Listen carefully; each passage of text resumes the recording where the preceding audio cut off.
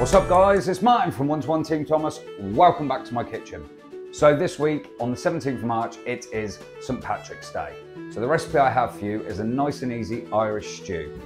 This recipe serves two people and is 383 calories per person, so that's for step three and above. The preparation time on this is about 20 minutes and the cooking time is two hours and 20 minutes. So you've got plenty of time to go and knit or paint your nails or whatever. You're gonna need 250 grams of boneless lean lamb leg steaks.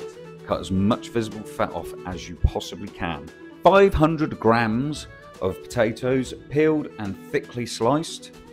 Half of a large onion, peeled and sliced. 250 grams of carrots, thickly sliced.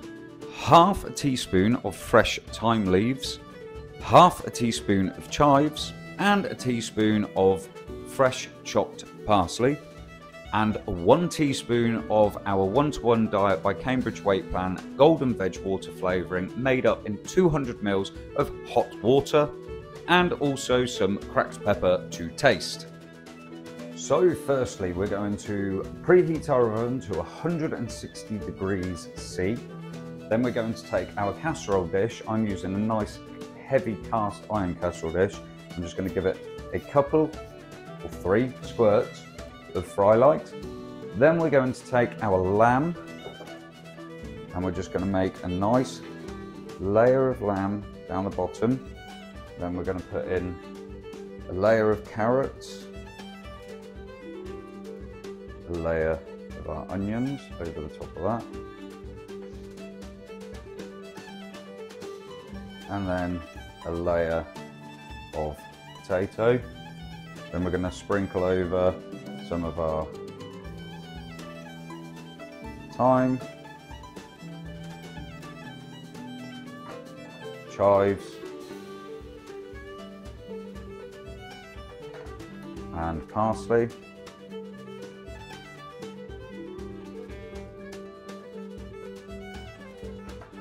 And then we're going to repeat a layer of lamb, a layer of carrots, a layer of onion, and finally another layer of potato.